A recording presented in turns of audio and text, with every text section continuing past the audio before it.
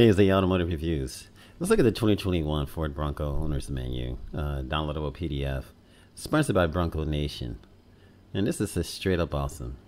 Now, the manual is live for the dealer technology right now, and it's going to be housed for all to see on Ford.com. Let's take a look and check this out. This Bronco in the picture is just epic up front. It just looks nice. What a manual, folks. What a manual, what a pick, and just what a background scenery. I mean, just the mountains behind the Bronco. This is what it's all about, folks. Let's take a look at the downloadable uh, 2021 Ford Bronco owner's manual. Let's take a look at it. It's downloading right now. Here is the owner's menu. And if you look back, this is the table of contents you got the uh, contacting, introduction, symbol glossary, data privacy, visual search, child safety, seatbelts, personal safety systems, airbags, 911 assist, key and remote system, my key, uh, door and locks, keyless entry, tailgate, security, steering wheel, wiper and washer, exterior lighting, interior lighting, windows, interior mirror, exterior mirrors, instrument cluster, and instrument cluster display.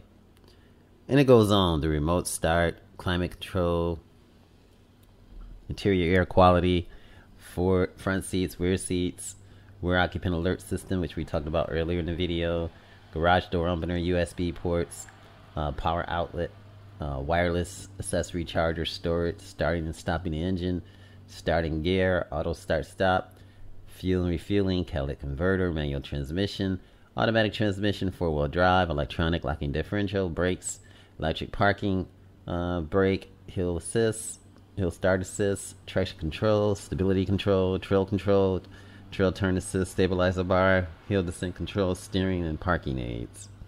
360 degree camera, and it goes on and on. There is a lot. We got a lot to cover in this video. We're gonna go through everything real quick and nice and efficient as possible. Well, let's start off with the uh, Let's start off. This is just a warning. Wash your hands after handling. Talking about the battery and what you got to do. But first, let's start off. Let's skip the. Uh, let's skip all the way to the uh, personal safety system. And two, let's also make this bigger. Now, what is personal safety system? How does the uh, safety system work? Frontal crash protection and that kind of thing. Personal safety system, driver and passenger dual stage airbags, driver's uh, seat position sensor, uh, passenger seat position sensor, front passenger uh, sensing system, airbag off, front crash severity sensor, and restraint control module with impact. This is the personal safety system. Airbags. How do the front airbags work? Of course, this is a frontal collision. This is the airbags activating uh, crash sensors and airbag indicators. You can actually see that there. We're just gonna go through quick, just a quick look at the. Uh, and again, the airbag also in the, is in the side, and it comes out for the uh, support in case you hit, in case you're hitting the side. This will work and prevent you to um, prevents um, the side injury. It's definitely nice. An airbag is designed to inflate between the door panels and the occupant to further enhance the protection provided by the occupants in case of impact. Now the system has a label embossed on it, crash sensors and monitoring system with uh, readiness indicators. And as you see here, boom, the airbag that goes to work, lessening the severity of the collision. These are the airbags, and the airbags located also in the roof. I think I did a video on this too. Um, this is pretty cool because you'll need that, especially when you take off the doors and the windows. This is what goes in to protect you, and this is why a lot of people like the uh, Ford Bronco and safety systems that it has. The safety can- canopy curtain airbags above the trim panels over the front and rear side window, identified by a label. The side rail trim which opens above the side doors to allow curtain deployment. Check it out, folks. Wow. Properly adjusting the driver in the front passenger seats. That's very important. We're not going to go into too much. We're just going to peruse through this. Front passenger sensing system. What is the uh, front passenger sensing system all about? You can already guess what it is. It's just sensing your weight and everything else, and so the airbags can act accordingly. And we'll fly through here, through the airbags, crash sensors, airbag indicators. And we are done with the airbag. Now we got 911 assist, the sync system feature that can call for help. This is definitely nice. Now, when one of those sensors go off, that's when it um, activates. Connected Bluetooth enabled phone must have the ability to make and maintain outgoing calls at the time of an incident. So if you don't have a if you don't have a signal, it's not going to work. And it must have battery power and be located in the United States, Canada, or in the territories in which 911 is the emergency number. So you got to have your phone with you. And if you don't have your phone, it's not going to work. Which I find sort of odd. Because I think in all the other cars that I've owned, even without the phone, it still worked. It had its own separate modem. And it was able to do that when you hit the button. Someone did, you know, even even when the phone is not working. But not in this one. It has to work with the phone.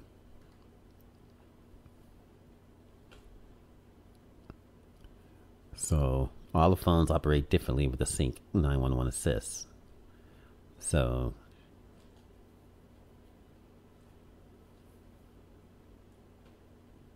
so you and your cellular phone cannot sustain damage. And if the battery has no power, you won't you're not you it won't work. The keys and remote control systems, unlock and locking the doors, remote start, uh, panic alarm, which everybody's aware of. And these are the key. Removing the uh, key blade. This is how it's done. Very easy, very simple. And this is pretty cool. When your alarm doesn't, when your uh, for some reason your remote don't work, you can use this key to actually open the door. Using one coin top, three volt lithium batteries. That's what it's used. Now push the uh, push the release button and pull the key blade keys and remote control. We're just going to skip right through this real fast so you guys can get an idea of the picture of what's going on with the keys and remote programming, uh, backup location. See that right here. You got to place the first program remote in the backup slot inside the center console with your foot off the brake pedal. Press and release and push the ignition switch. Wait 5 seconds and remove the remote control. Within 10 seconds, place a second program remote control in the backup slot. Press and release the push button, ignition switch. Wait 5 seconds and then press.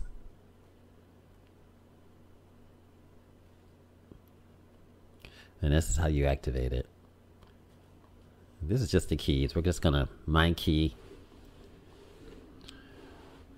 Uh, MyKey allows you to program keys with restricted driving modes to promote good driving habits.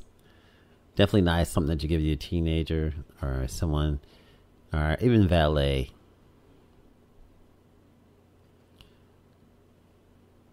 And this is the speed reminder audio system volume limit. My key, we're just going to scroll right through this checking my key status using my key with the remote systems. That's the my key. Pretty nice. Doors and unlock, as you see.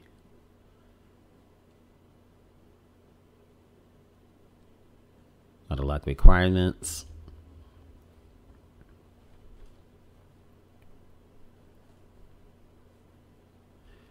And these are the doors and the unlocks. Mislock. Mislock is a locking feature that warns you if your vehicle has not locked. And these are limitations. And that means that no, you know, if that's done, then it will not work if the hood is open or if the tailgate's left open.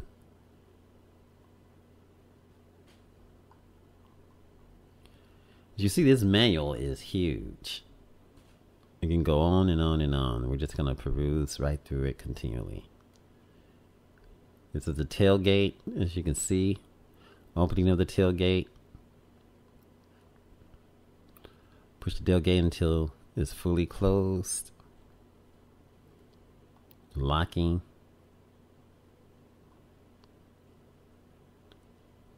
Again, emergency locking, the button right there. Emergency unlocking.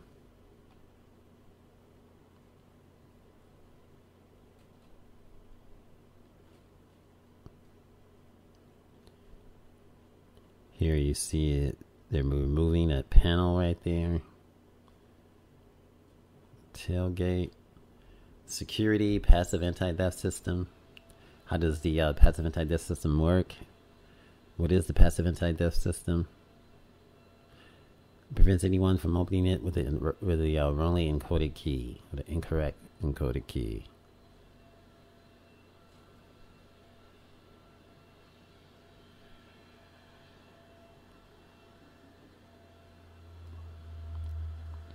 Take all remote controls to an authorized dealer if there is any potential alarm problem with your vehicle. This is the steering wheel, of course, you can see here. It's telescoping and it also tilts. And you also have a heated steering wheel, as you can see the icon. Switching it on and off. Press the button, and you press the button again to turn it off too as well. This is the stock for the wipers, as you can see switching the rear window wiper on and off. As you can see, switching the windshield wipers on and off. High speed intermittent wipe and off, as you can see. Reverse wipe settings, press settings, press vehicle setting, press wiper, switch rear wiper on when in reverse are on off. That's nice. So you can see when you're backing up. And again, this is basically the windshield wiper blades, basically the universal kind with that they call the J clip, just clips in place and locks.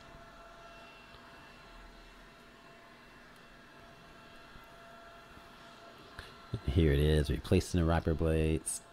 Very self-explanatory. Right here, as you see, slide and uh, slide it right off.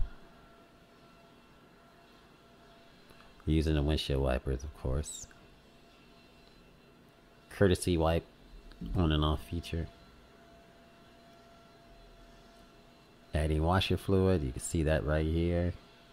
Right on the side, looks like it's on the right side. The passenger side. Exterior lighting, of course. Auto lamps. Exterior lamps. Definitely nice. Daytime running lamps on an off vehicle with configurable daytime running lamps. Exterior lighting, of course. Spot lamp on and off. The spot lamp buttons are near the lighting controls. Press the button to switch on the left hand spot lamp. And press the button to switch on the right hand spot lamp. That's nice so you can see. Like if you're going off roading at night and the dawn is coming, it's definitely nice to have front fog light, turn signal. Using exterior zone lighting as you can see. On and off the setting, exterior lamp indicator.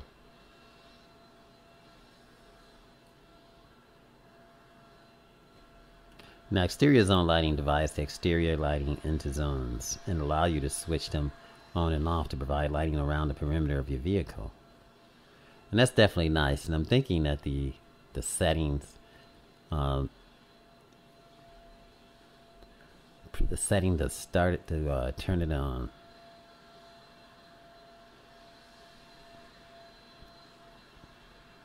I think what would be cool if you came up to the car and you get in the car in a parking lot, only a certain zone that you approach will light up. Automatic high beam, as you can see. How does it work? By the sensor detecting when the other person oncoming um, automatic high beam controls turn on the high beam if it is dark enough and no other traffic is present. If it detects an approaching vehicle, headlamps or tail lamps or street lighting ahead, the system turns the high beams off. Now that would be nice if it also worked with the light bar too, because I know a lot of people at, with trucks they tend to keep it lit, you know, in their city driving, and no need for the, you know, the LED strip to be on, and they have it on blinding people. It'd be cool if that worked with the system too, since everything is wired, that it will automatically turn it off and then turn it back on. It'd be nice if it did. That's something to see. We'll be able to see that once we get these vehicles in our driveways and be able to learn about all the features and how it works. I'm gonna find out how that worked too and uh, talk about it in the video. Hopefully it does work all together. Automatic high control, high beam control requirements. So it's got to be greater than 32 miles per hour in order for the high beam thing, automatic high beam to control to work.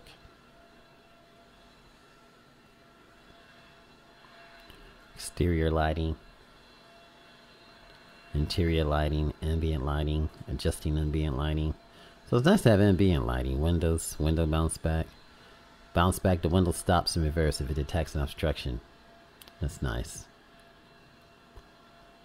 tailgate window, interior mirrors, auto dimming interior, auto dimming interior mirror limitations.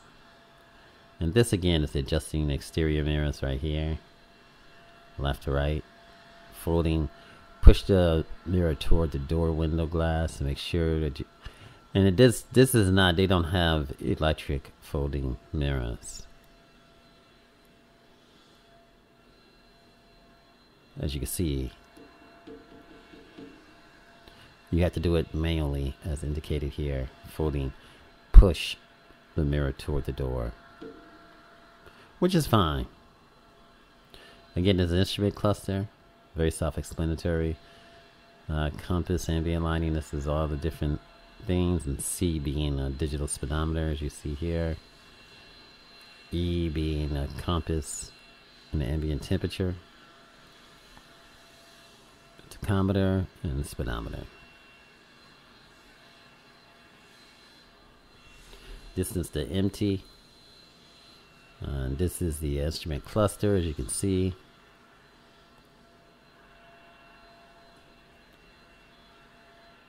Just going to peruse right through it. Remote start.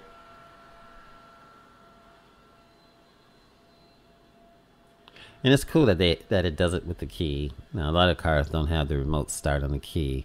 But a lot of American cars do, I believe, where you can use the key. But a lot of times you use your um, app to turn on and off your car, and not the keys on the remote car. On the um, luxury cars, they use the phone to do that. But American cars, that's good because sometimes you may not have access to your phone, and you're still able to start your car as long as you're um, you have to be a certain perimeter in order for it to start.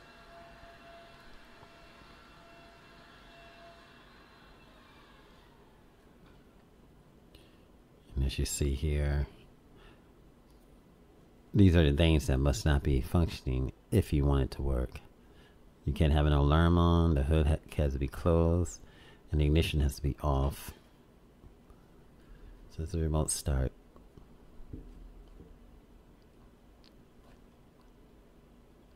There's a climate control system, as you see here. It's very, very self explanatory, which it should be make it easier. You know, max, max airflow. Everybody knows how that works. Max AC, switching air and conditioning on and off, switching the recirculator on and off. As you can see, the icons. Setting the temperature. If I see anything that looks weird, we'll stop and talk about it. But so far, I don't. Switching dual mode off. We all know what dual mode is for the passenger and the driver.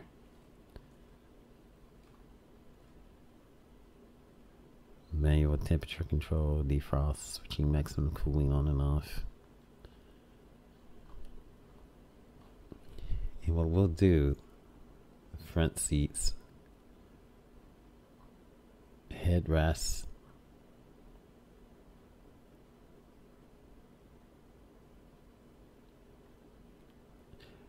two steel stems, sleeve lock, which is D right there, click front seat, the tilting, you have the tilting headrests.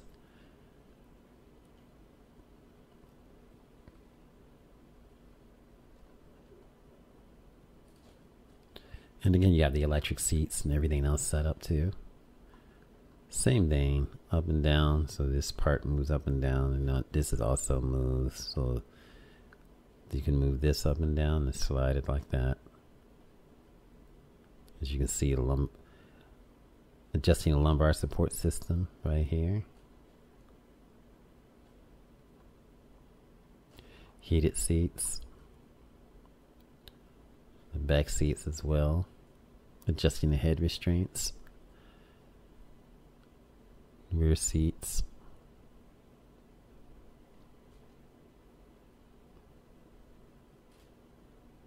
Unfolding the seats as you can see. Pulling that up. And then this turning as you can see. Pull the strap.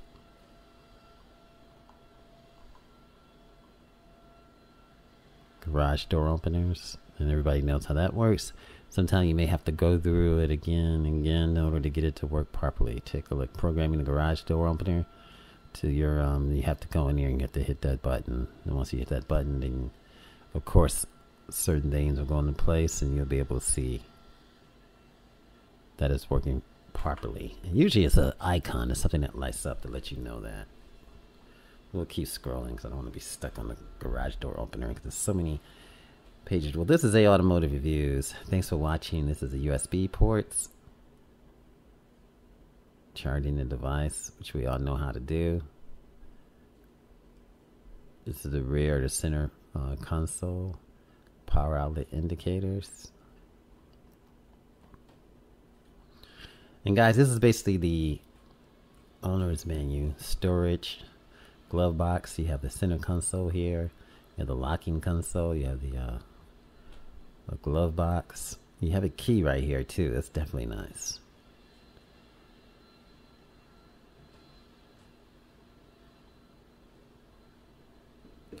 A luggage compartment under the floor storage.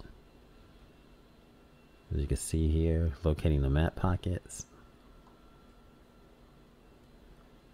On and off starting and stopping the engine.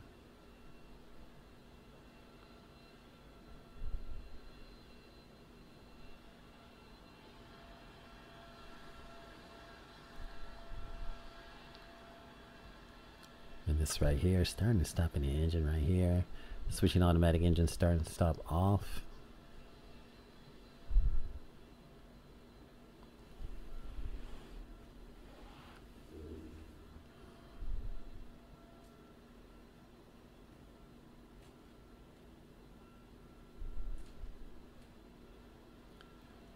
So accessing the passive key backup. So you can't permanently turn off the it only you know the engine start stop button. You can't permanently turn off. It just has it's something that you have to do every time you turn on the car. I hate that feature. I don't know. A lot of people hate that start stop engine it's an annoyance uh, manual transmissions. This goes on and on. Auto start stop.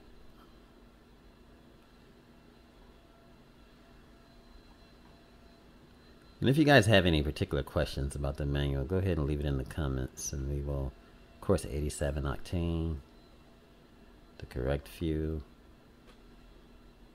and it even comes with a fuel funnel. Which you have to fully insert. And again, this fueling system is nice because it it doesn't have a it's like you just pop it in there. You don't have to turn anything to take it off as you can see. Just like the Volvo system, it's definitely nice. You just plug it in there, it makes a big difference. because you get you know you get sick of taking off that uh, cap, but then you need this is is this is like built into this but if for some reason you have to um, put gas in it yourself you'll have to use this they give you something else because you can't you know in order to pour the gas in. That's what that's what we saw here. This right here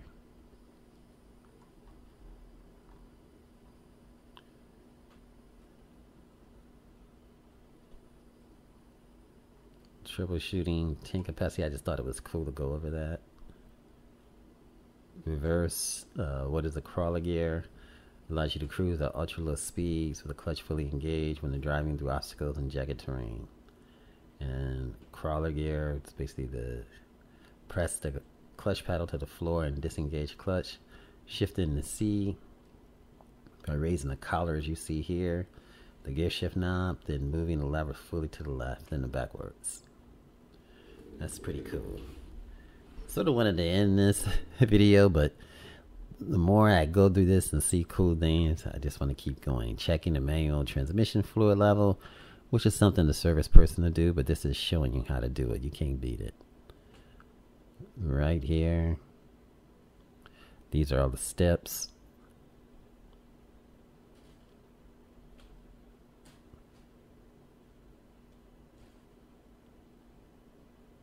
See, a lot of people that own Broncos are do-it-yourselfers, basically, and this is just showing you how it's done, and has the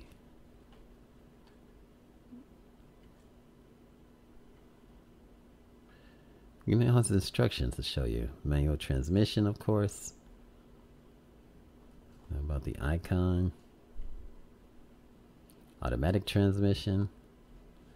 As you see on the bottom of the speedometer. Audible warnings, four wheel drive, limitations.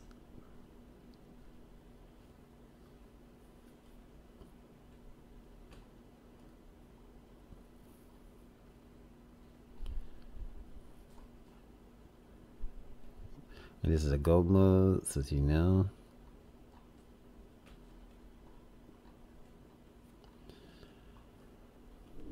And again, this is the uh, electronic uh, locking differential, if equipped. As you see here, A, the front locking differential, and B, the rear locking differential.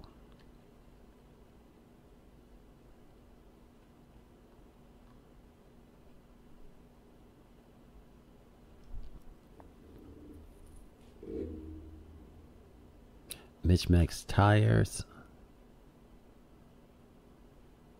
You don't really want that because that affects the performance. So you want to make sure all your tires are matching.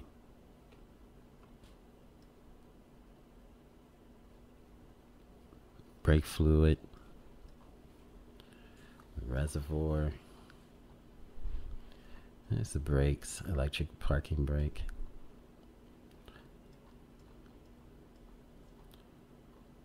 Hill start assist. A hill start assist makes it easier for you to pull away when your vehicle is on a slope without using a parking brake. So you can imagine how that works. So if you're on regular terrain or rocks, you just let off the gas and boom, everything just stays right there. You don't have to worry about reaching over and pulling something up and then your car sliding off the rocks. That your SUV is sliding off the rocks and perhaps incurring damage. You don't want that, so you need to hill start assist. That's definitely nice. So it's got to be facing uphill or when your vehicle is in reverse and facing downhill. Traction control.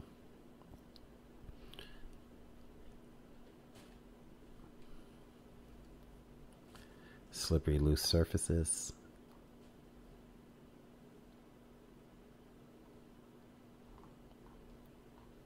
Stability control, electronic stability control, roll stability control,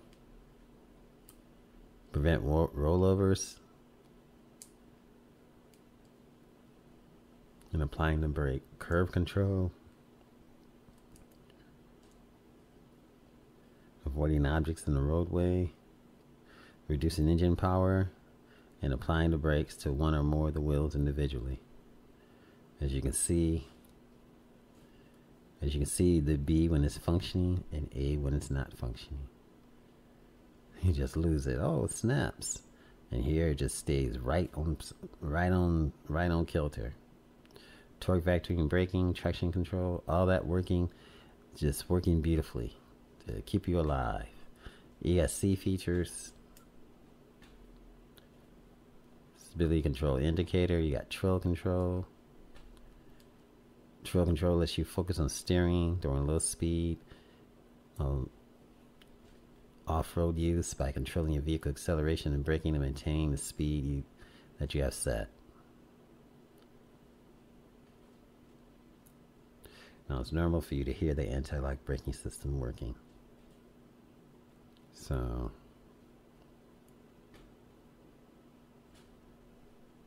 setting that trail control speed the speed preferred, press the button.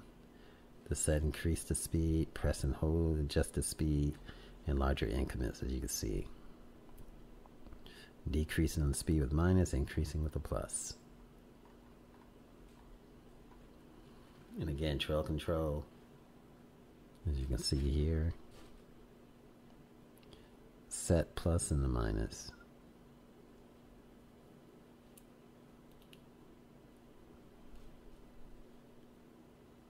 Yep, trail one pedal drive indicator, as you can look.